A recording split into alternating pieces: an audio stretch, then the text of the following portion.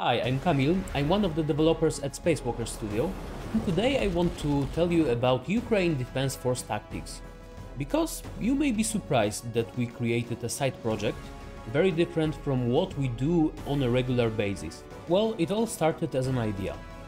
We wanted to do something to aid Ukraine, so we decided to make a game. Because we're a bunch of game developers, so there's nothing we can do as good as creating a game. Ukraine Defense Force Tactics is a charity project, which means all of our profits from the sale of the game will go towards supporting Ukraine. The project was created using Godot engine, and the whole development process, including audio production, music composition and graphic design, took us 3 months. Ukraine Defense Force Tactics is a turn-based tactics game in which you lead a small force of Ukrainian units fighting against a seemingly endless deluge of Russian invaders.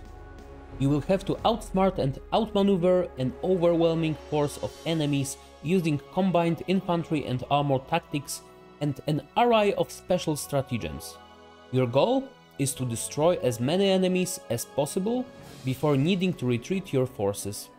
By defeating enemies you gain glory, which then can be used to upgrade your units and unlock new ones. Our main goal was to create something which is interesting and is really fun to play, and also do something good for the Ukraine.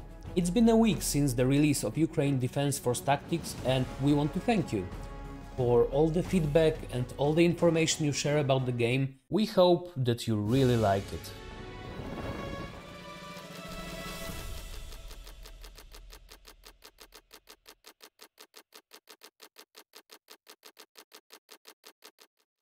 Space.